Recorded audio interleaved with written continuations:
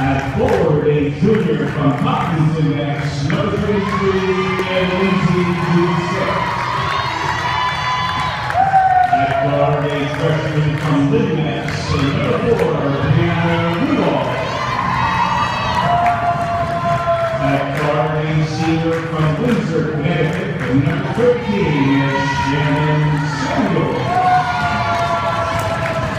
At guard, a senior from Gaithersburg, Maryland, with number 23, Madison McCoy. And at guard, a junior from Tamworth, New Hampshire, number 24, Melissa Frazier. Coach Joe Hawks in her first season is Jenerrie Harris. She's assisted by